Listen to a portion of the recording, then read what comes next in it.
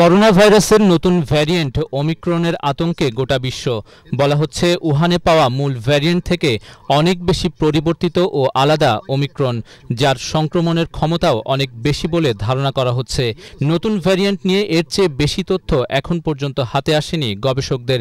তবে বিশেষজ্ঞদের আশঙ্কা, এখন পর্যন্ত করোনার যতগুলো ধরন আবিষ্কৃত হয়েছে, তার মধ্যে সবচেয়ে ভয়ানক হতে পারে ওমিক্রন।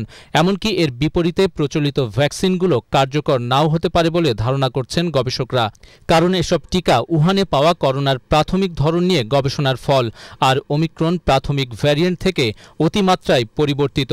তাই আপাতত এর আচরণ ও শক্তি বোঝার চেষ্টায় ব্যস্ত গবেষকরা। This variant has a large number of mutations, and some of these mutations have some worrying characteristics. Right now, there are many studies that are underway. বিশেষজ্ঞদের সতর্কতার জের ধরে আগাম ব্যবস্থা নিতে শুরু করেছে বিভিন্ন দেশ। ভ্রমণ নিষেধাজ্ঞা দেয়া হচ্ছে। দক্ষিণ আফ্রিকা, জিম্বাবুয়ে সহ প্রতিবেশী দেশগুলোতে। ওই সব দেশ থেকেও কেউ আসতে পারবে না।